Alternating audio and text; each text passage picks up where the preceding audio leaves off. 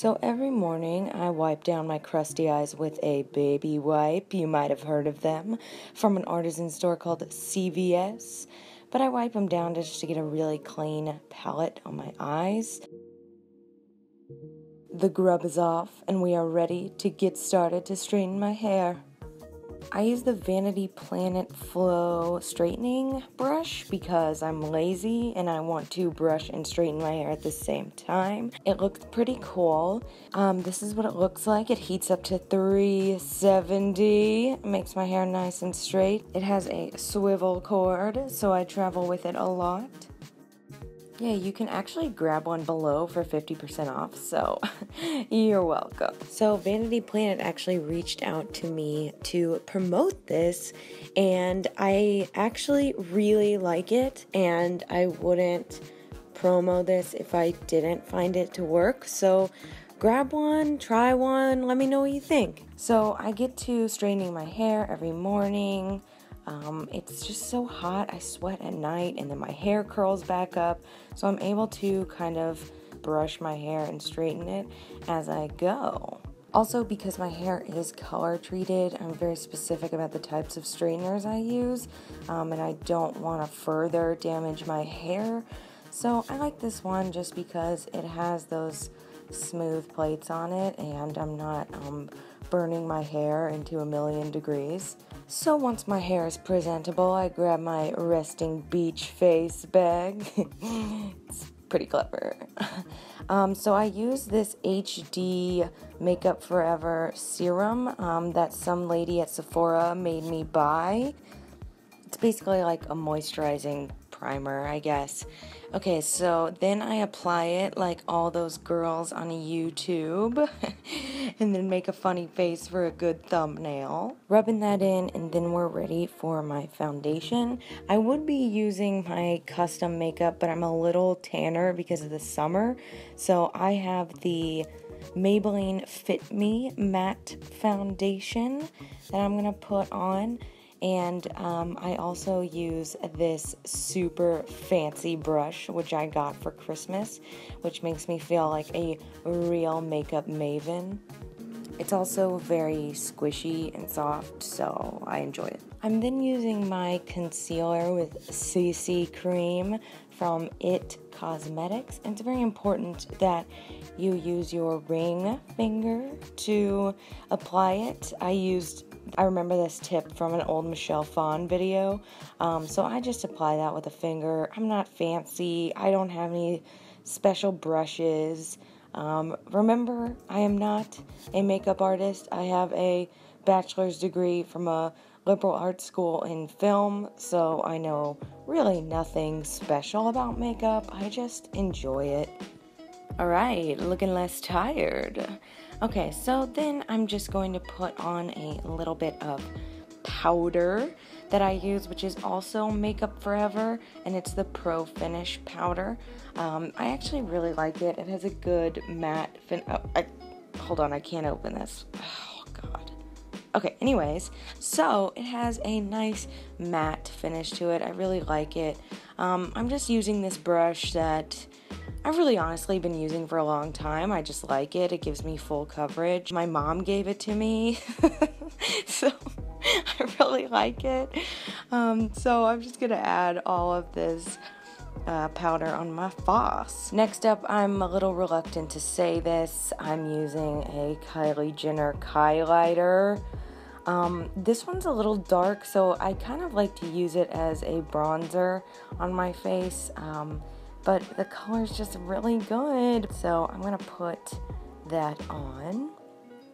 Give myself a little high cheekbone action. Now I'm just gonna add a little dollop of blush because I don't know, makes me look happy, makes me look alive. So we're just gonna put a little bit on each cheek and then we're gonna move on to eyes. Okay, a lot of people have been asking me about this and they're asking what kind of eye makeup I use, and it is the Modern Renaissance palette by Anastasia Beverly Hills. It is the best. I got it for a birthday present and it is absolutely oh wonderful.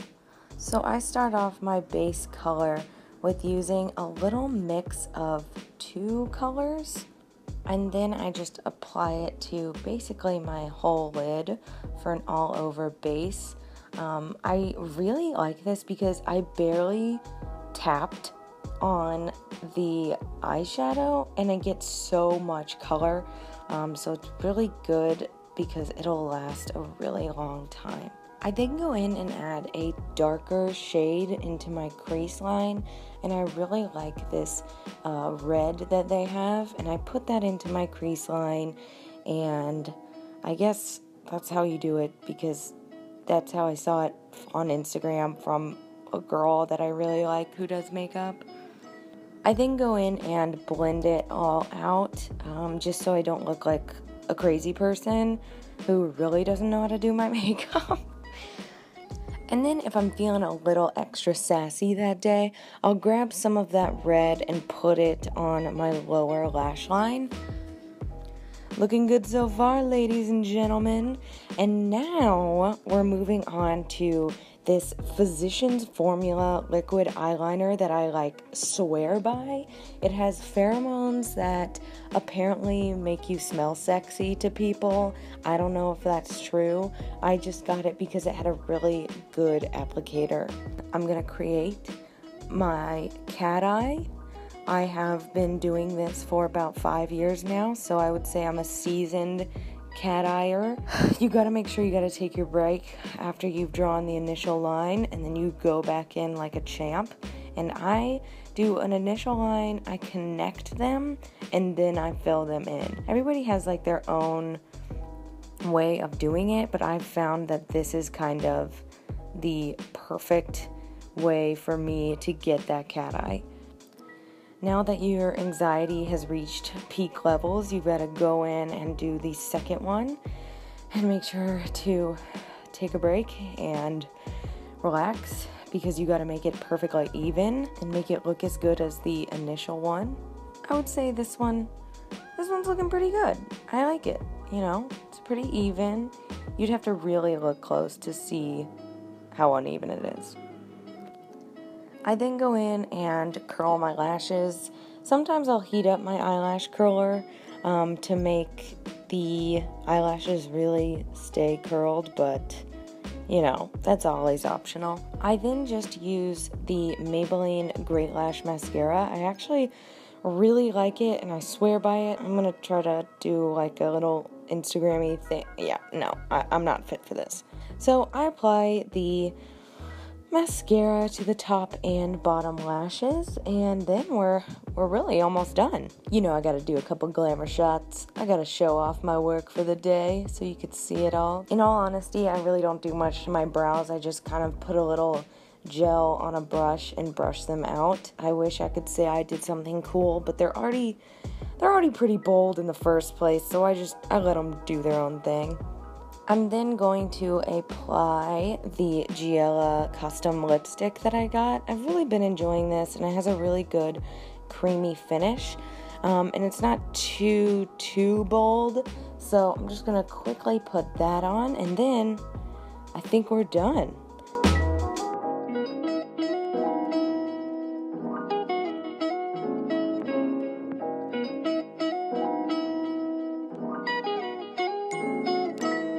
Alright guys, as you can see, this is my final look. A lot of you guys were asking about what um, I wear for makeup and kind of what my eyeshadow is and now you have my secrets. I really hope you liked it. It's a little different than what I normally do but um, a lot of you guys were asking about an everyday makeup routine. So if you like this video, please give it a thumbs up. Um, don't forget to uh, subscribe because I'm going to be here for a while. And um, I guess I'll see you next time. Alright guys, bye!